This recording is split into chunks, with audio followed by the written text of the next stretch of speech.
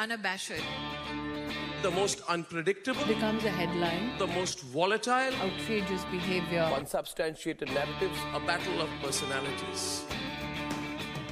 Welcome to Grand Tamasha, a co-production of the Hindustan Times and the Carnegie Endowment for International Peace. I'm your host, Milan Vaishnav. Modi's India, Hindu Nationalism, and the Rise of Ethnic Democracy is a comprehensive exploration of the Narendra Modi government, its origins, policies, philosophy, and relationship to democracy. Patrick Heller of Brown University calls the book the most detailed, theoretically sophisticated, and comprehensive analysis of the rise of Modi's BJP as a dominant electoral force.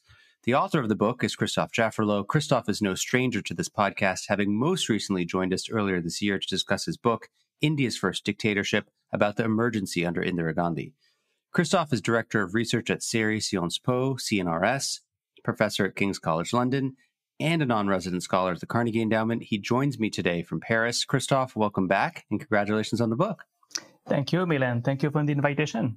So, before we get into the heart of the book, um, I think it's useful for our listeners for you to tell us a little bit about the origins of the book.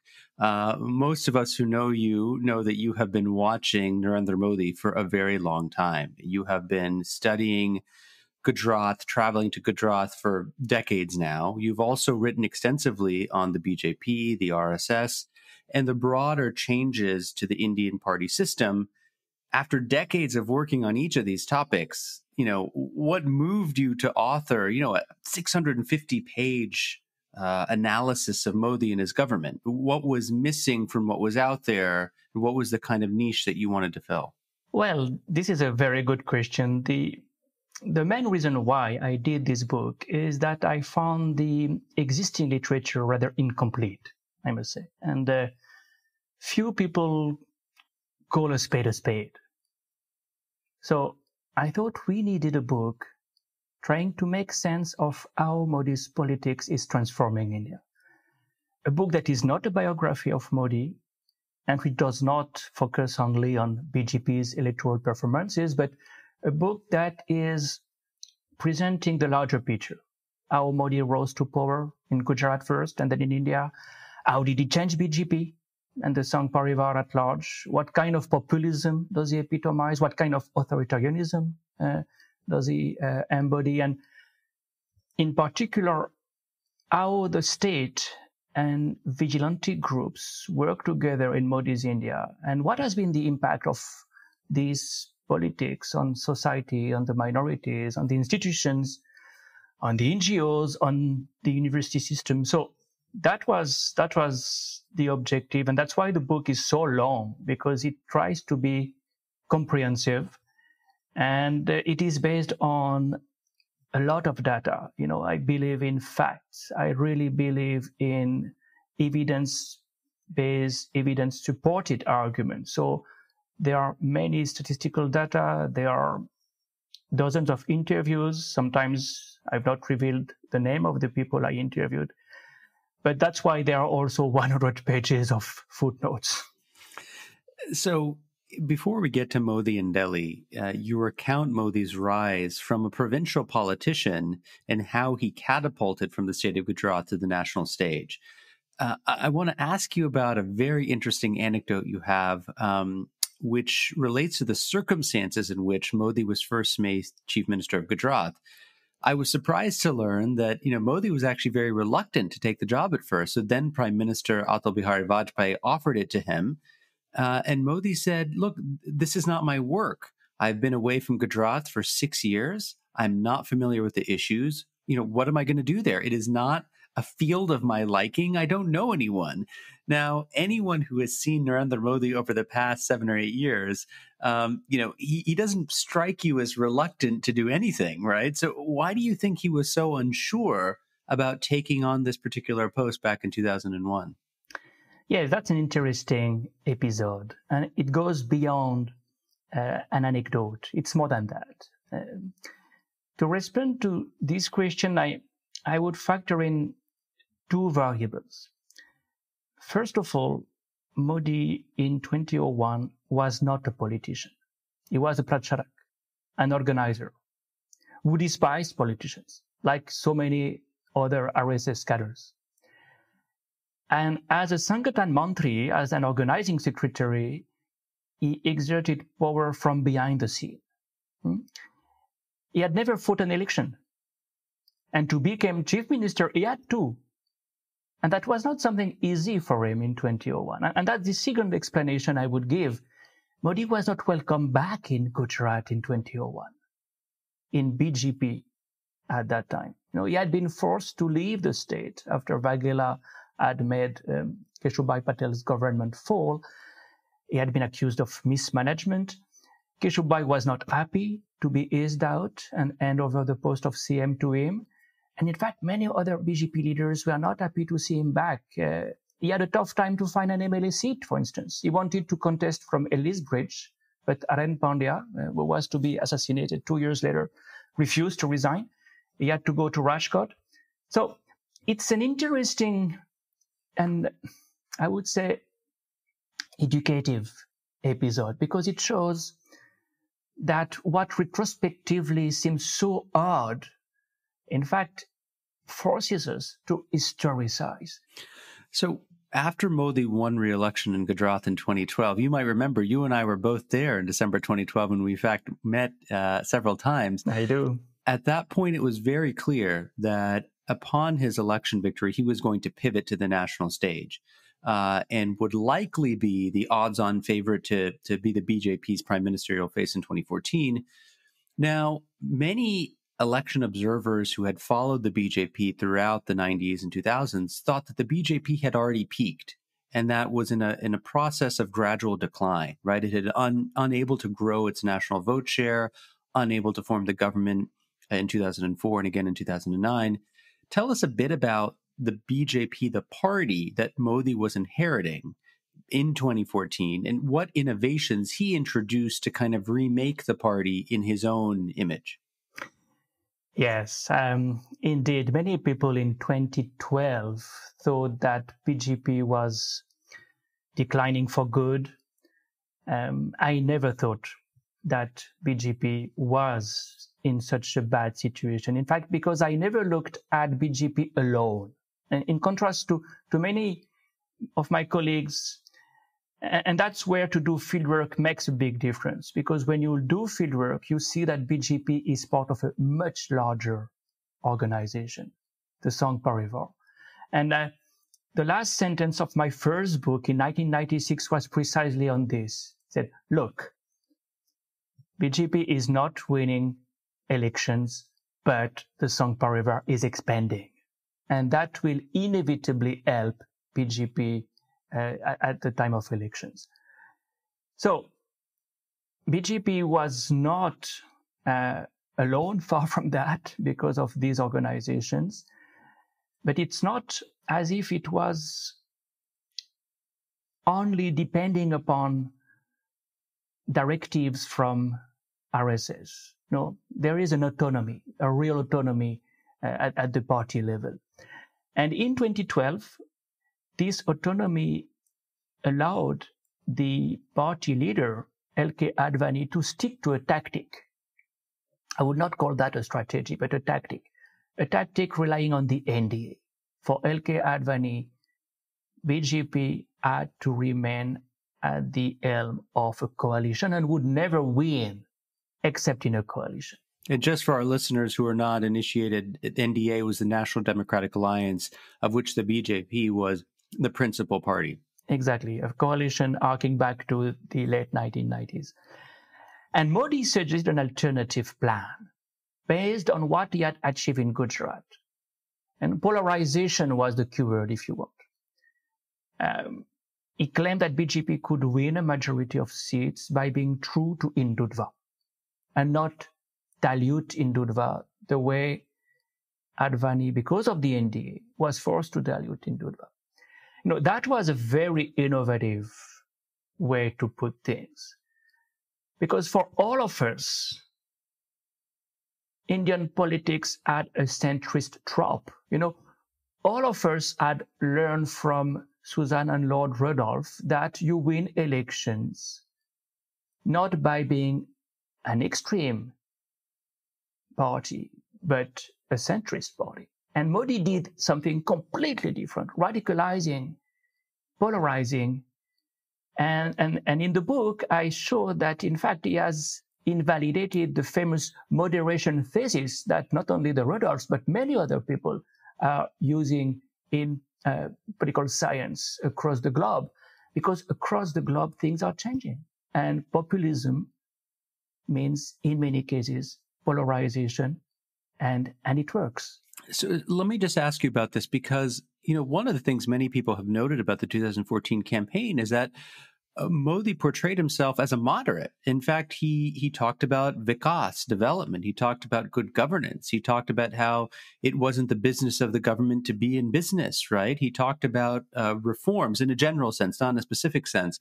And so, in many ways, you can argue, and people like Ashutosh Varshney and others have said this, is that in the national theater of politics, the 2014 campaign did not seem to be based on Hindutva, Hindu nationalism. It seemed to be pitched at making a broader play for a a, a pan Indian coalition. Is that a fair assessment?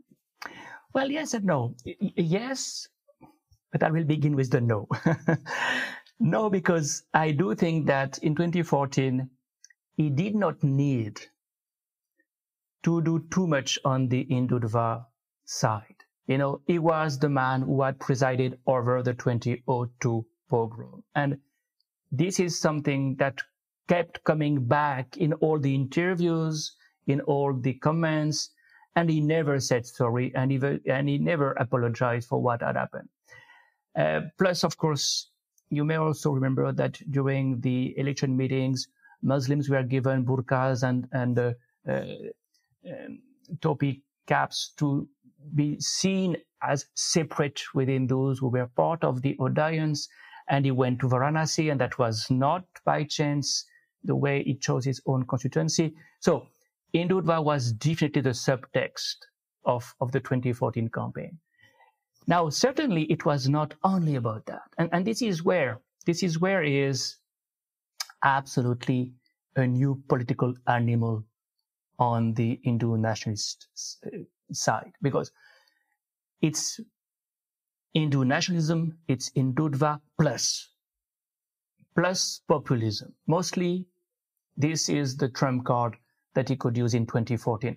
And this is something he had tried before in, in Gujarat, the populist repertoire, which means that I am representing the people against the elite. And in Gujarat, it worked very well. You know, it was against Delhi. Delhi was exploiting Gujarat, marginalizing Gujarat.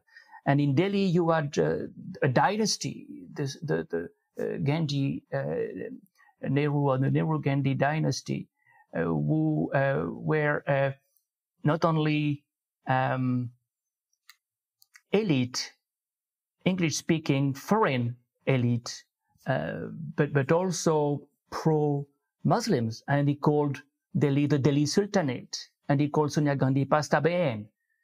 And in contrast to these establishment figures, he was a son of the soil. He was a man of the plebeian side. No, never before BJP had someone who could say, I am a former Pracharak, but I'm a former Chaivala also.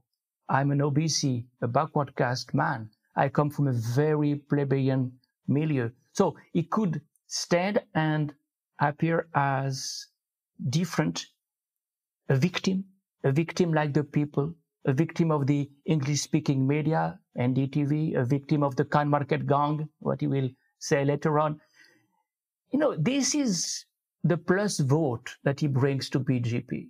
Uh, he, he, can appear as a man of the people. He is like me and a superhero, a real marut, you know, very, uh, you can say virile, uh, uh, a man endowed with supernatural powers.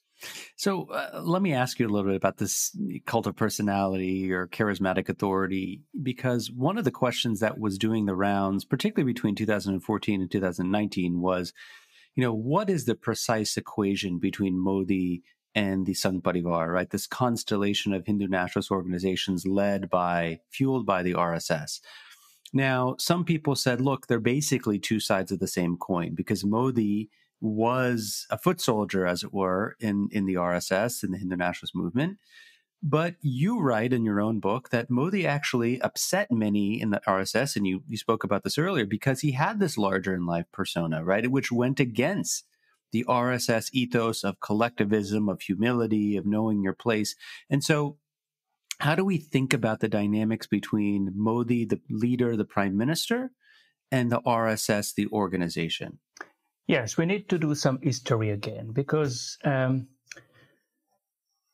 everything begins again uh, in, in Gujarat. Uh, in 2007, the RSS was upset indeed. Modi did not report to the Prant Pracharak. He did not submit to him the list of candidates for the state elections.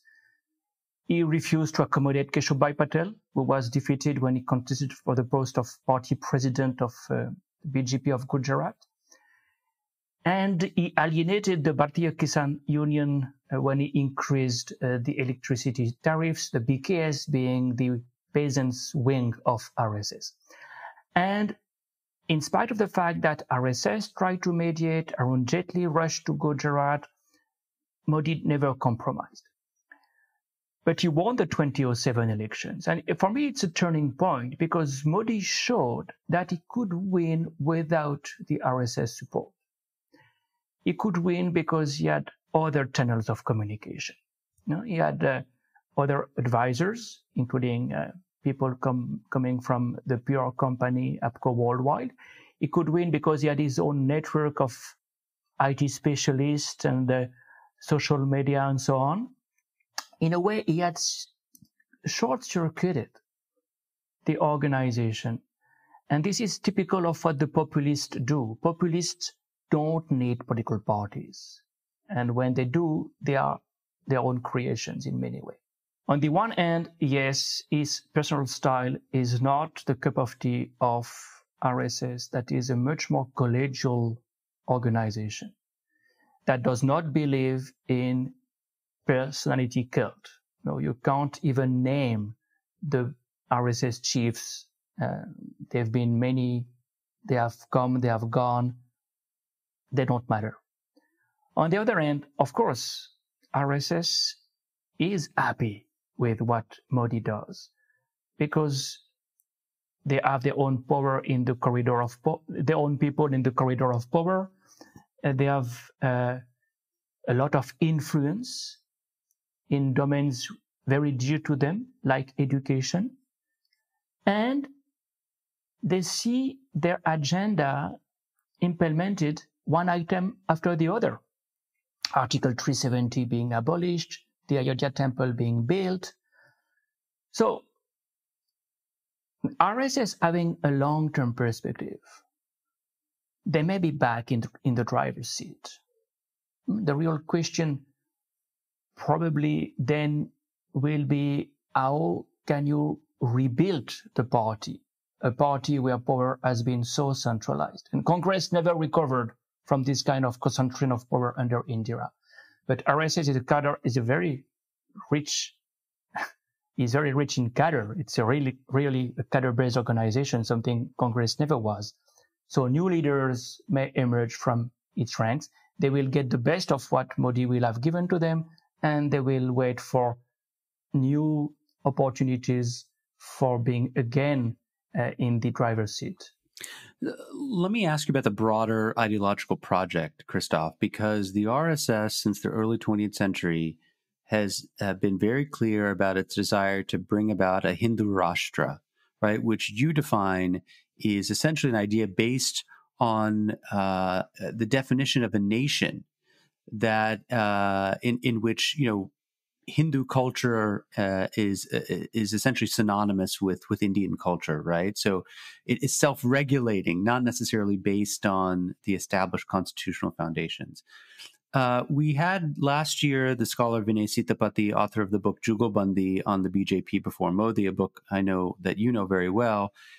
You know, one of the things he says is, look, actually, the BJP and the RSS don't have a theory of the state, as it were. Um, and I'm wondering if if if you agree with this assessment that once they come to power, yes, they have this vague idea about a Hindu Rashtra, but do they have a governance agenda? I think the first thing I, I would say here is that um, RSS does not pay much attention to the state apparatus because what matters the most is society. Society seen as a living organism, a potentially harmonious whole. And, the main ideologue of RSS, Dayal Upadhyay, made no mystery of the fact that this societal model was the Varna system, the caste system, the ideal caste system. And by contrast, he attacked the state that Nehru and Ambedkar were developing because this state was the instrument of reforms for development and for more equality, social reforms.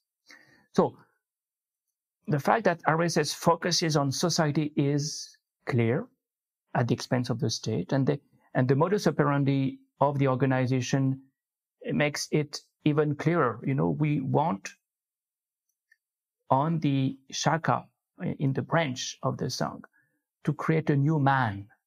What matters is society that will be built on this new man. It's also what you see in a very different way through the uh, vigilante groups that RSS is sponsoring, including Bajrang Dal. Bajrang is a very important uh, addition to the Sangh Parivar. I, I dwell on this organization in the book for that reason.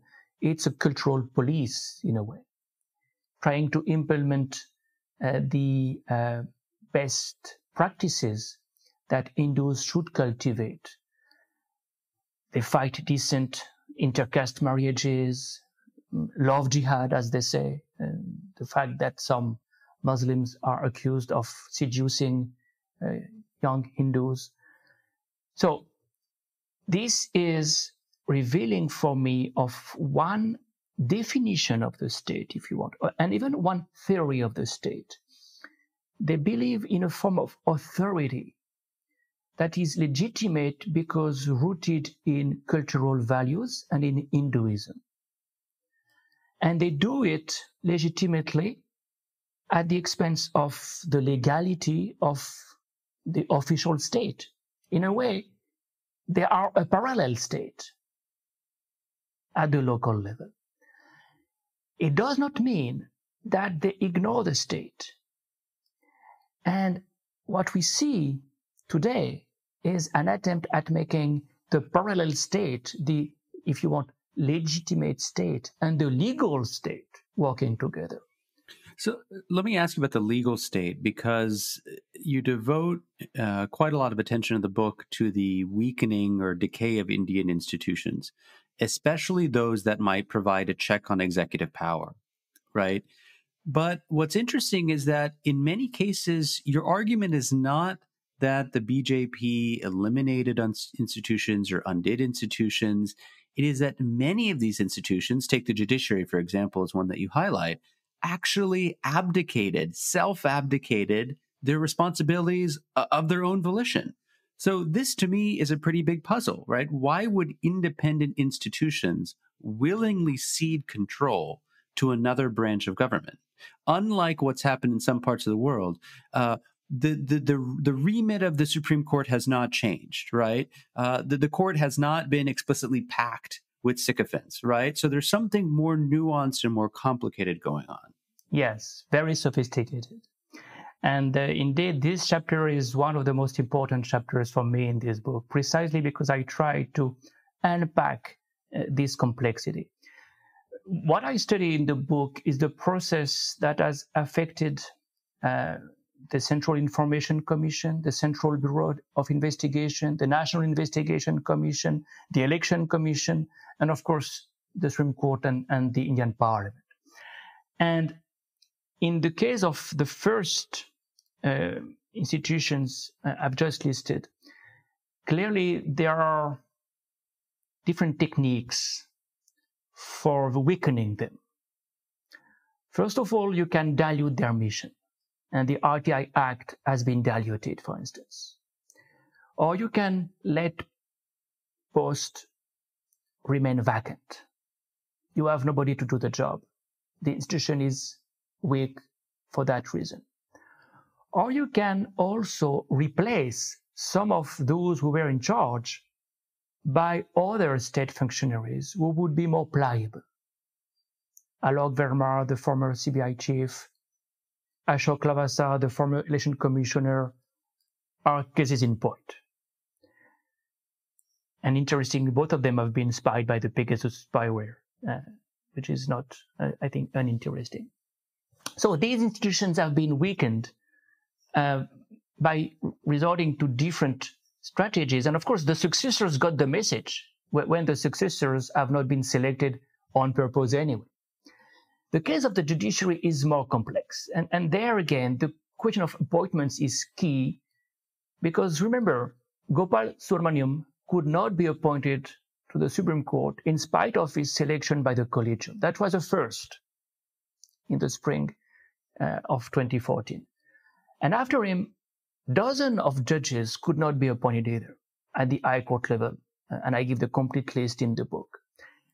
So appointing the appointment of, of judges is one way to weaken the judiciary, the way you select or delay or uh, refuse uh, the appointment of judges.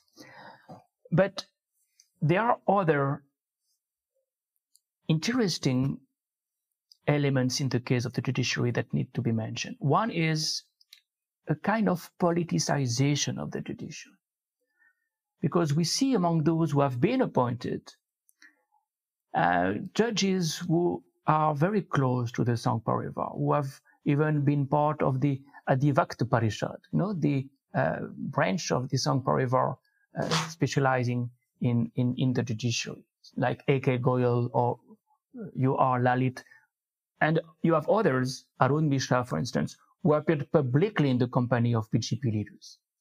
So that's another new development that makes this, the proximity of some judges with um, Hindu nationalist leaders uh, obvious. And then you have another very important uh, factor for the decline of the neutrality of the judges. That is the expectation of post-retirement jobs. When a judge knows that he'll get something after retirement because the government will have appreciated the way it would have worked, then of course you create the conditions for some bias. In fact, Arun Jaitley himself said, this is undermining the judiciary. Yes, it is. And last but not least, of course, but that's something that would take us too far. Prashant Bhushan argues that some judges have been blackmailed because many of them are not completely clean. And that's another possibility. So, uh, you know, this all begs the question, Christophe, that some of these pathologies are not new, right? And so, for some people who have read your last two books, this book on Modi, the previous book on the emergency under Mrs. Gandhi, might conclude that what we're seeing today in Indian politics is a kind of reversion to the mean. In other words, in a previous era, you had a strong leader who was able to subvert institutions, trample on basic freedoms, establish a cult of personality, you then had a 25 year period of coalition politics, dispersed power, where things look differently. But now we're back in the previous mode, uh, with a strong dominant party and a strong dominant leader. So, what is so new in your mind about this moment compared to previous periods where you've had executive dominance and a charismatic prime minister? I do think that during the emergency time and um, and, and today there, there were three pillars which were similar. Uh, a concentration of power, uh, a political economy that was very much uh, based on uh, cronies and crony capitalism, and some privatization of violence. But there are two major differences, and I think uh, that's why we cannot compare uh, today's India and, and, and the emergency years. First of all, Mrs. Gandhi had no long-term plan when she declared the emergency. It was a survival exercise. And she could not rely on any organization. No. On the contrary, the Sangh Parivar is benefiting from Modi's popularity with a long-term objective to transform India into a Hindu Rashtra, and its organization is huge. So that makes a very clear difference.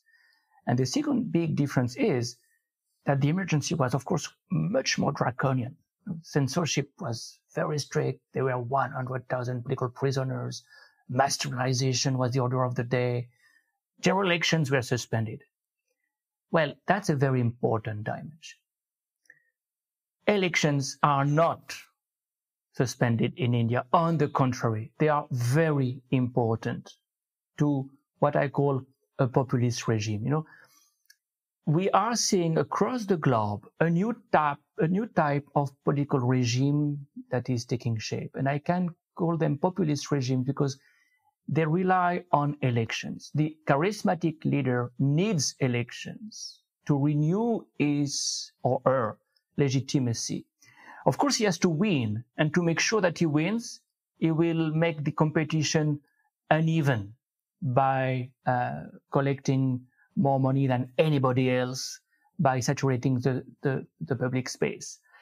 But there'll be elections, and this is a, a major feature. There'll be elections to renew the legitimacy of the leader, but also to show the world that you are on the right side.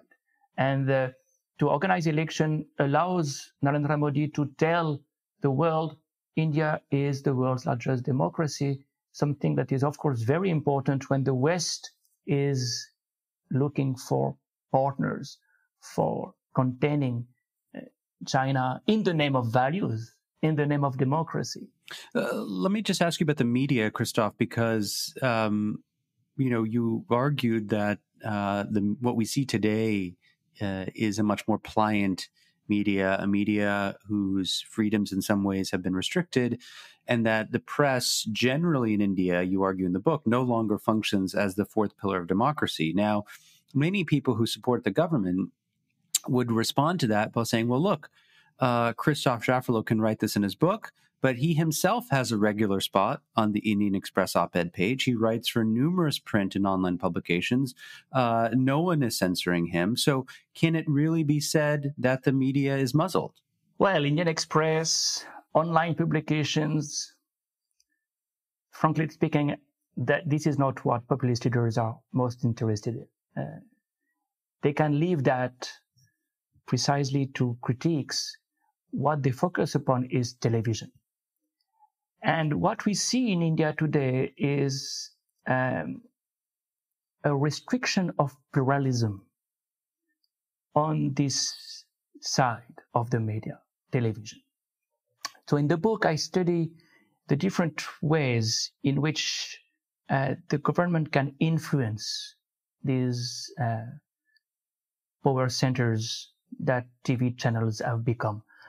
They can do it by using government ads, by intimidating critics via IT raids or ED raids, uh, by filing dozens of sedition cases against journalists in UP, for instance, by putting pressure on the owners of channels for easing out journalists. The, the way PP Bajpai was sacked by the proprietor of ABP News is a case in point.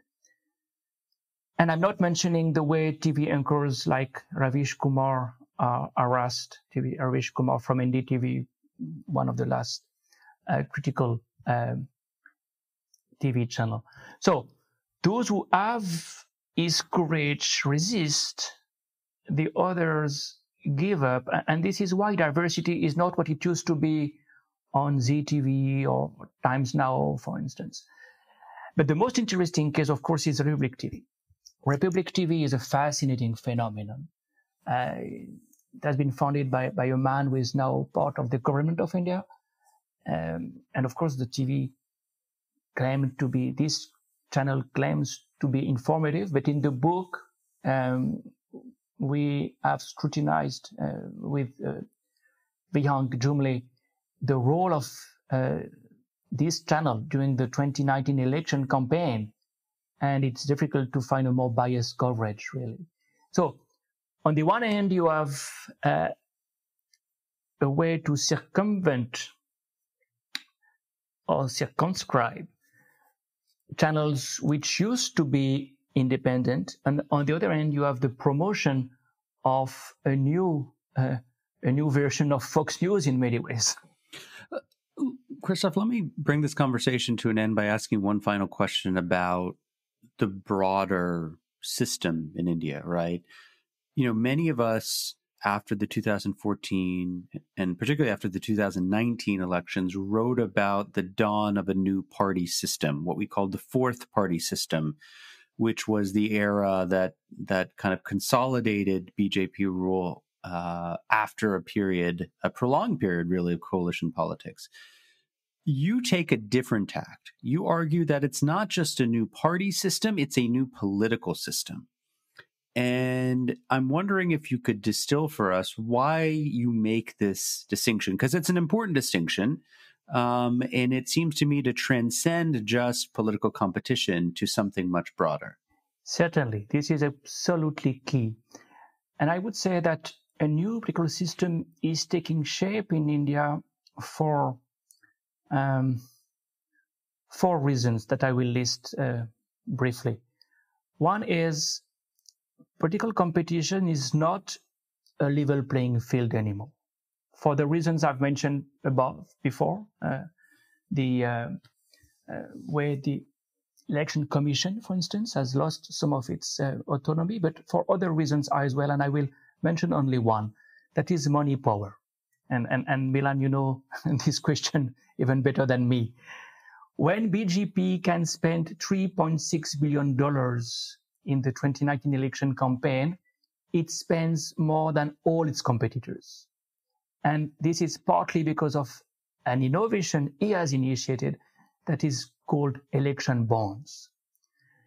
So that's one way also to connect to another dimension that I have alluded to. This new political system is as its own political economy. Crony capitalism is part of it. And uh, the business model that Narendra Modi initiated in Gujarat with Gautam Adani and many others has become the order of the day. And the wave of privatization that we are seeing today is just reconfirming that, yes, the competition is unfair, partly because the money power and, and political power are more and more Uh, together. Secondly, and more importantly, because we have not mentioned this so far, but for me it's very important, this new political system can be called majoritarian. Majoritarian in the sense that it develops a new kind of access to citizenship. And the CAA is a case in point. For the first time, religion is a criterion to be eligible to Indian citizenship. And, the, and that's the Citizenship Amendment Act, or yes, CAA. exactly, passed in 2019. Uh, and the last chapter of the book is about the situation of Indian Muslims. So I have built data sets about their representation in the administration, in the police, and in the parliament. And you see uh, how Muslims have been marginalized, especially in uh, the Lok Sabha, where for the first time in the history of India, the ruling party has no uh, Muslim MP. So if you want, this is a new political system where secularism is on the paper, but multiculturalism not uh, implemented anymore. Third, concentration of power in the hands of few people, I think is a symptom of a change of the political system because it's at the expense of the government and ministerial competence. It's at the expense of parliament and I give data about the way parliament is bypassed today, you cannot say India is a parliamentary democracy the way it used to be. And it's at the expense of federalism. And last but not least, in a liberal democracy, freedom is a key value. You know, the political system changes for good when a democracy does not observe freedom of the individual uh, as, as much as, as it should.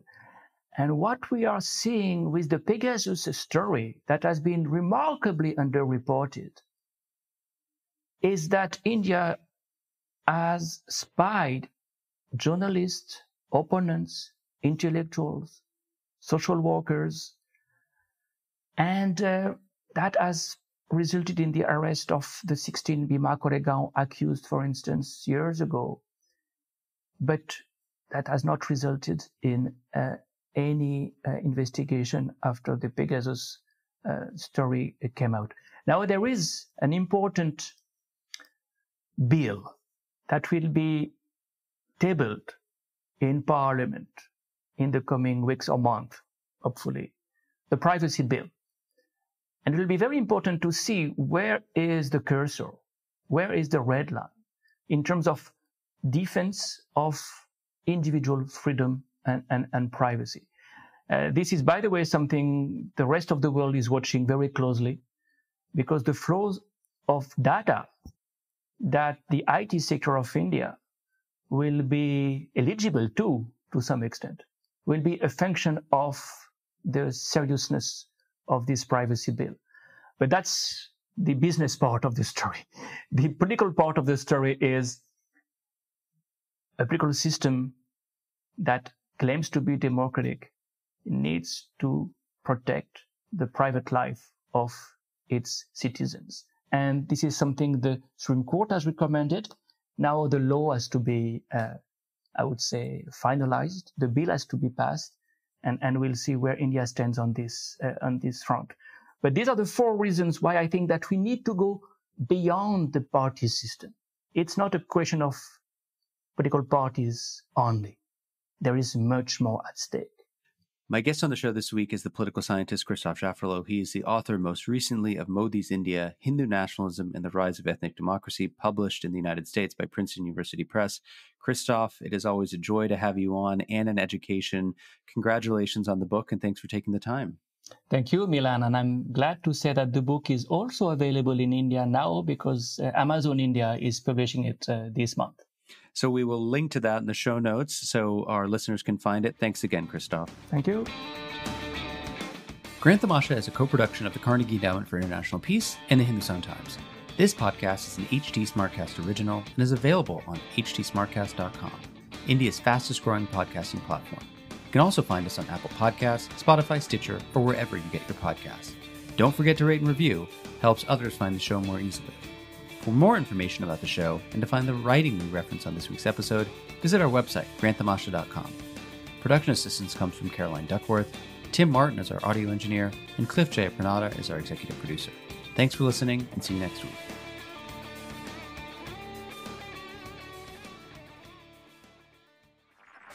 This was a Hindustan Times production brought to you by HT Smartcast. HT Smartcast.